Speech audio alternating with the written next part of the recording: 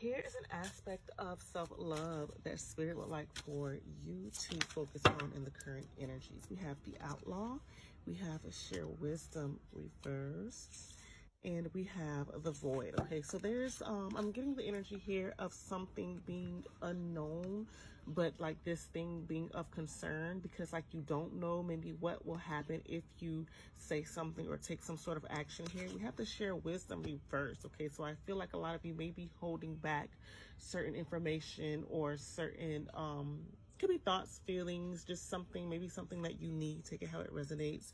Um, but yeah, I get that there's like a fear of the unknown of what would happen if you were to express this truth here. So there's like this holding back. And I feel like spirit is wanting you to um, actually be fearless in the pursuit of whatever this thing is. Okay. If it's something that you are needing, if it's something that you are desiring on some level, just take it how it resonates. I feel like spirit is wanting you to align with that wholeheartedly. Okay. Because that is self-love by prioritizing your needs. Okay. Being honest with yourself and others as far as your needs, or at least doing the best that you can to um, put your needs first in a situation. Sometimes, you know, when you are um, kind of like taking care of others or connected to others in some way to where they depend on you on some level or you depend on them, okay, you may have like a fear of maybe any changes that may take place or something like that. But, um, you know, everyone's scenario is going to be different. So if you would like guidance specific to your situation, let me know and I can get you booked for a reading here. But I definitely feel like um, just the general holding back of this important information or holding back on something that you know to be true or to be of some importance in a situation is um, a lack of self-love on your part. So let's see what the guidance is here. We have manifest, ascension,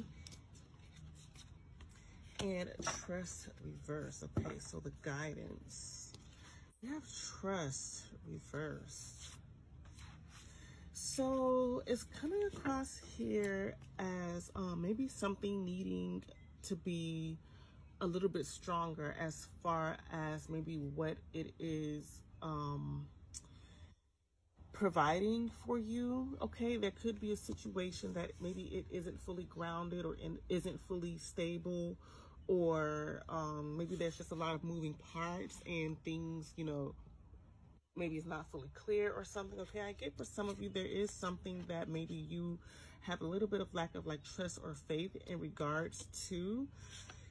Um, I feel like this is something that maybe you were trying to manifest here. Okay, maybe some sort of growth or elevation in this specific situation, but there's definitely a, lot, a lack of trust and faith here.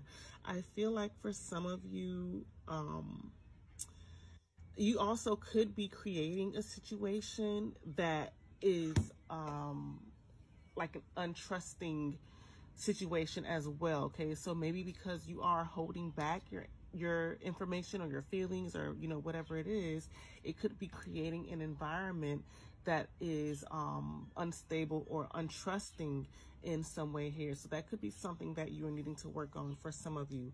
For others of you, I really feel like um, working on building the faith, okay, the trust and the faith within yourself is more so along the lines of what you are needing to be doing here. I feel like there needs to be a transformation of just really trusting oneself to make the right decision for yourself here, okay? And for just what you're trying to manifest overall, because again, it's about ascension. It's about growth in life, not going backwards, not repeating cycles, not making the same mistakes that, um, you know, keep us just sort of in this toxic karmic loop of just unfulfillment and um, just not having your needs met here, okay? So, um, yeah, trust definitely is a huge factor in regards to this situation. So just take it how it resonates, the, the angle of this, how it resonates for your situation here, okay? But I do feel like um, aligning with authenticity overall is what the overall goal is towards your overall sense of self-love and self-worth here okay i feel like that's the message that's coming through here is being authentic with yourself okay um yeah, so I'm to leave the reading there. I hope it resonated, and I will see you in the next reading.